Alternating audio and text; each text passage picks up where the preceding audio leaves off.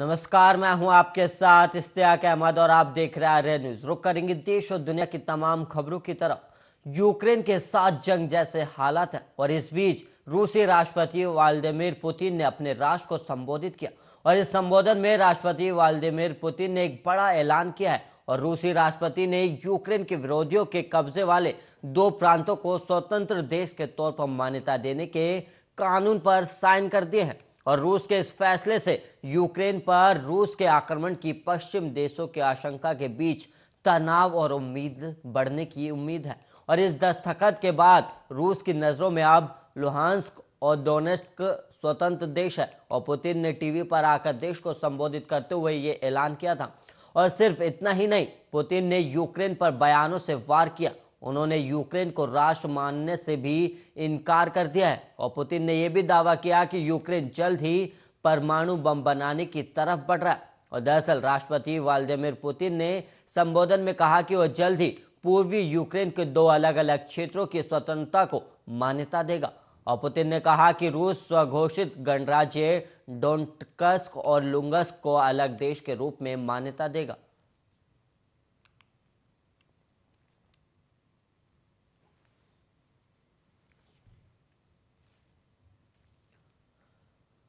वहीं यूपी चुनाव के बीच कांग्रेस अंतरिम अध्यक्ष सोनिया गांधी भी आज यूपी के चुनावी दंगल में कूद पड़ी तो वहीं इस दौरान एक जनसभा को संबोधित करते हुए सोनिया गांधी ने बड़ा बयान दिया था और उन्होंने कहा है कि कांग्रेस ने महिलाओं के लिए शक्ति विधान, युवाओं के लिए भर्ती विधान और यूपी के विकास के लिए उन्नति विधान तैयार किया सोनिया गांधी ने कहा कि हमने महिलाओं के लिए शक्ति विधान, युवाओं के लिए भर्ती विधान और यूपी के विकास के लिए उन्नति विधान तैयार किया। प्रियंका गांधी ने 40 प्रतिशत टिकट महिलाओं को दिए और यूपी के एक हक की लड़ाई लड़ते हुए हमारे अट्ठारह हज़ार कार्यकर्ता जेल भेजे गए और उन्होंने योगी सरकार पर निशाना साधते हुए आगे कहा कि आपने पाँच साल ऐसी सरकार देखी जिसने अलगाव पैदा करने के अलावा कोई काम नहीं किया और बारह लाख से ज़्यादा सरकारी नौकरी पद खाली है। लेकिन उन्होंने पद को नहीं भर रही। है और पेट्रोल, डीजल, रसोई गैस सिलेंडर के दाम इतने बढ़ गए हैं कि घर चलाना मुश्किल हो गया है।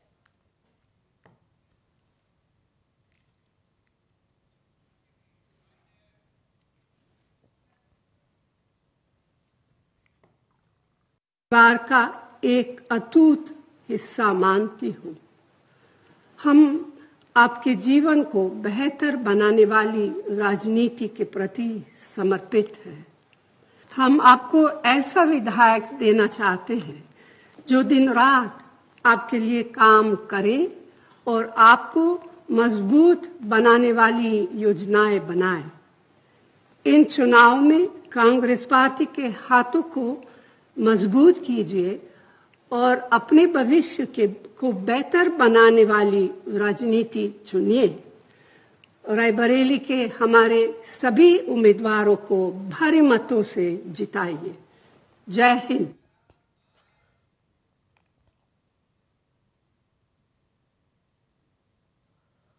और वहीं लखीमपुर हिंसा में मारे गए किसानों का परिवार सुप्रीम कोर्ट पहुँच गया और किसान परिवारों ने सुप्रीम कोर्ट में आशीष मिश्रा की जमानत के खिलाफ याचिका दायर की है।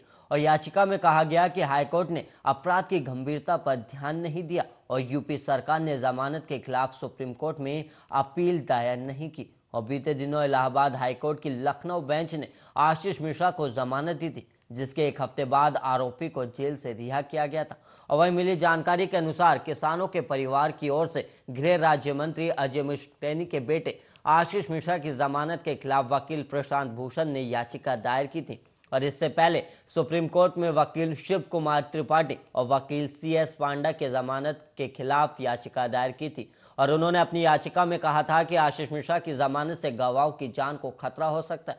और इसके अलावा आपको बता दें कि रविवार को ही लखीमपुर में समाजवादी पार्टी के मुखिया अखिलेश यादव ने तिकोनिया इलाके में चार किसानों की कथित तौर पर वाहन से कुचलकर हुई मौत के मामले की तुलना जलियांवाला बाग हत्याकांड से की थी। हालाँकि सीएम योगी आदित्यनाथ ने उनके इस बयान को राजनीति से प्रेरित बताया था।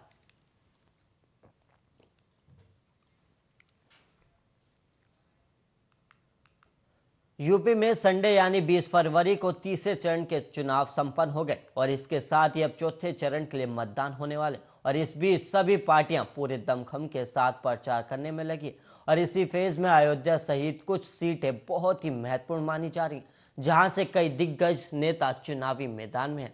और वहीं चौथे चरण के चुनाव के लिए प्रचार का अंतिम दिन और इस दौरान सपा नेता अखिलेश यादव हरदोई पहुँचे और वहाँ उन्होंने जनता को संबोधित करते हुए बीजेपी पर जमकर निशाना साधा। उन्होंने कहा कि बीजेपी गर्मी निकालने की बात करते हैं और हम कहते हैं कि अगर हमारी पार्टी जीतती है तो हम युवाओं के लिए भर्ती निकालेंगे। और अखिलेश यादव ने आगे कहा कि गर्मी निकालने वाले पहले चरण के बाद ही ठंडे पड़ गए और हरदोई आते आते ये जो गर्मी रहे थे, शून्य हो जाएँगे। और उन्होंने कहा कि जिन बीजेपी नेताओं के भाषा बदले, जनता ने इनकी खटिया खड़ी कर दी। और अखिलेश ने योगी आदित्यनाथ पर हमला बोलते हुए कहा कि बाबा प्रदेश में विकास के नाम पर नाम बदलने का काम करते, लेकिन अब उनका ही एक नया नाम सामने आया है, और वो है बुलडोजर बाबा।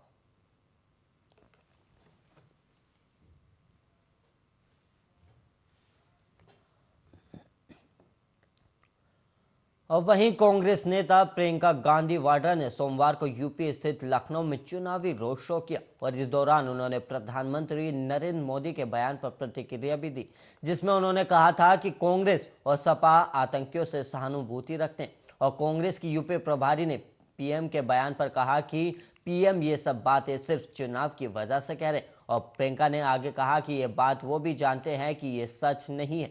सिर्फ़ चुनाव के चलते ये चल रहा है। और वहीं उन्हें अहम मुद्दों पर बात करनी चाहिए। और तमाम सरकारी पद खाली होने के बावजूद आखिर यूपी में इतनी बेरोजगारी क्यों है? और कांग्रेस नेता ने आगे कहा कि पीएम ने महँगाई, बेरोजगारी और छुट्टा जानवरों पर कुछ नहीं कहा। और चुनाव में वो कह रहे हैं कि उनको अब इस बारे में जानकारी मिली है। क्या सीएम ने उनको जानकारी दी? और सरकारी पद खाली हैं तो बेरोजगारी क्यों है? और छत्तीसगढ़ में छुट्टा जानवरों की समस्या सुलझिए और इससे पहले यूपी में चल रहे विधानसभा चुनाव के लिए कांग्रेस महासचिव ने लखनऊ के चिन्हट इलाके में प्रचार भी किया था। और वहीं आपको बता दें कि विधानसभा चुनाव के चौथे चरण का तेईस फरवरी को मतदान होगा।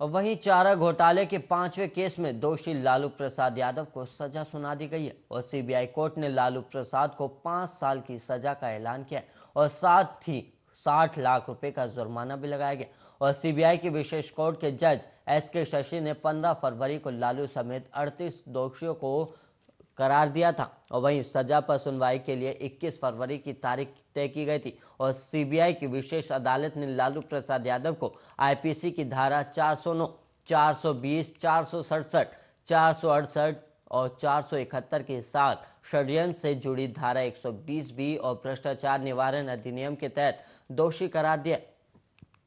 और इस मामले में सीबीआई ने कुल 117 आरोपियों के खिलाफ आरोप पत्र दाखिल किया था, जबकि 148 आरोपियों के खिलाफ 26 सितंबर 2005 में ही आरोप तय किए गए थे और चारा घोटाले के चार विभिन्न मामलों में 14 साल तक की सजा पा चुके लालू प्रसाद यादव समेत निन्यानवे लोगों के खिलाफ अदालत ने सभी पक्षकारों की बहस सुनने के बाद उनतीस जनवरी को अपना फैसला सुरक्षित रख लिया था।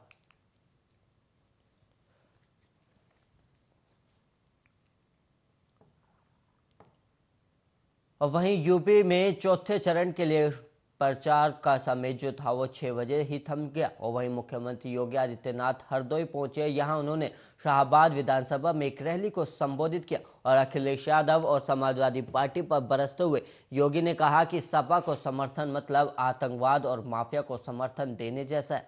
और उन्होंने ये भी कहा कि सपा मुखिया को जनता से नाक रगड़ कर माफ़ी मांगनी चाहिए। और साल 2012 से 2017 यूपी में अखिलेश यादव की सरकार थी और सपा की सरकार पर निशाना साधते हुए सीएम योगी ने कहा कि पहले बिजली की जाती थी और मज़हब होती थी। और ईद और मुहर्रम होता था तो बिजली आएगी और होली दिवाली पर नहीं आएगी। और आज ऐसा भेदभाव नहीं है। आज चाहे होली हो या दिवाली हो या ईद मुहर्रम हो या क्रिसमस या शिवरात्रि, सबको बिजली देने का कार्य डबल इंजन की सरकार ने किया है।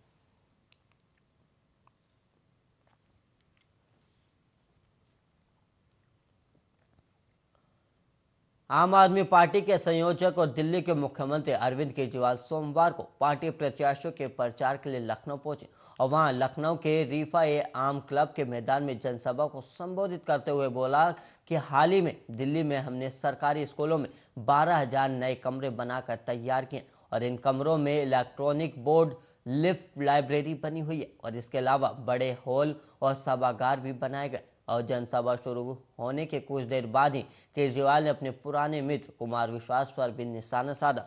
उन्होंने कहा कि गाजियाबाद का कवि सारी खुफिया एजेंसियों से ऊपर है और उन्हें पहले से सब पता चल जाता है। और वहीं सीएम केजरीवाल ने आगे कहा कि पिछले सात साल में हमने स्कूलों में बीस हज़ार कमरे बनाए हैं और उन्होंने जनता से पूछा कि आप लोग बताएँ, पाँच साल में योगी जी ने कितने स्कूल बनाए?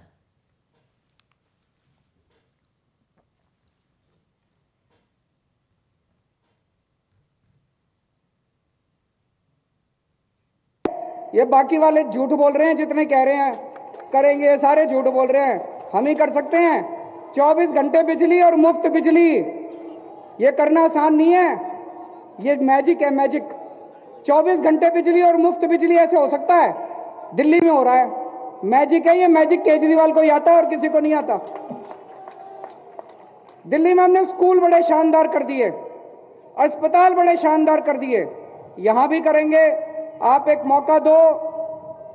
यहाँ पे भी बच्चों को रोज़गार देंगे। जब तक रोज़गार नहीं मिलता, उनको बेरोजगारी भत्ता देंगे। हर महिला को हज़ार हज़ार रुपए हर महीने देंगे।